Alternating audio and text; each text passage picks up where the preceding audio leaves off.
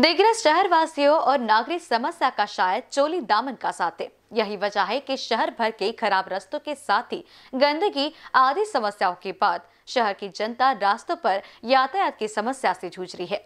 इन दिनों शहर के मुख्य रास्तों पर जगह जगह पे खड़े एपे रिक्शा सहित अन्य वाहनों की बेतरतीब पार्किंग दिग्रस वालों के लिए परेशानी का सब बन गई है। शहर के आनी नाका चौक से लेकर पुराना पोस्ट ऑफ़िस, घंटी बाबा परिसर, कच्ची चौक, मार्केट लाइन, शिवाजी चौक, मनोरा चौक आदि सहित विभिन्न चौक चौराहों पर खड़े वाहनों की भीड़ भाड़ से संबंधित परिसर के रस्तों से गुजरना मुश्किल हो रहा है। इस और शहर पुलिस के ट्रैफ़िक विभाग का कोई ध्यान नहीं है। दिग्रस पुलिस इस समस्या की सुध नहीं ले रही है। स्थानीय पुलिस महकमा इस समस्या का हल कब तलाश करेगा, ये देखने वाली बात होगी।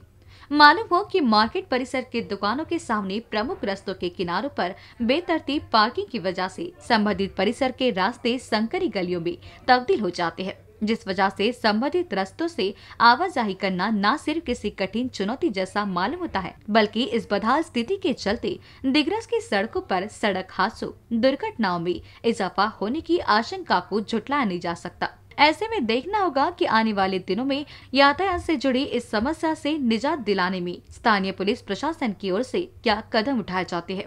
बीसीएन न्यूज़ के लिए दिग्रेज से जुबैर खान की रिपोर्ट।